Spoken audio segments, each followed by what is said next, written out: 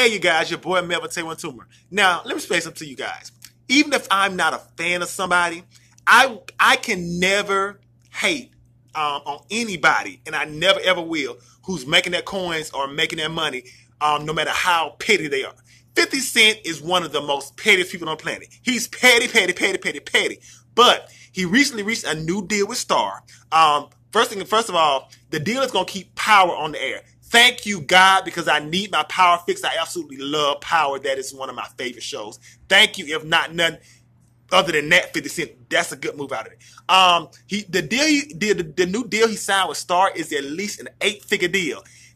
Damn, that's a lot of money. Woo, Jesus, that's a lot of money.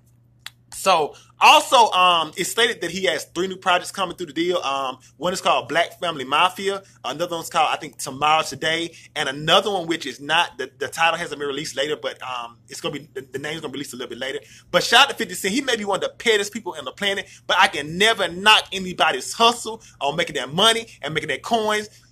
50 as petty as you are, do your thing. Um, like, subscribe, comment, share, and tell me what you think about this. And Power fans, Power will be back. Thank you, because I really was gonna be pissed if 50 Cent got Power kicked out for Starz. I'm really gonna be pissed because that is my show. Have a nice day, you guys. Bye.